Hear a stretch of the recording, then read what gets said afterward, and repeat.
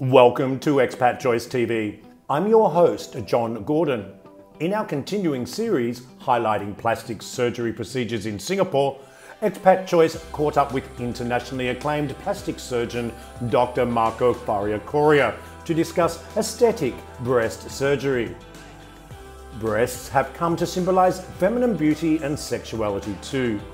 It is no wonder breast plastic surgery has become one of the most common plastic surgical operations to date. This is not intended to be a sexist or derogatory comment to make in any way whatsoever, but in our discussion with Dr. Marco, I raised the question what makes breasts beautiful? Now, this subjective interpretation can vary according to a given culture, moment in time, or race. But Dr. Marco explained what makes breasts beautiful comes down to breast definition. As the age old saying goes, beauty is in the eye of the beholder, although even what are perceived as beautiful breasts can eventually lose their shape and firmness due to lactation, aging, and over time, gravity.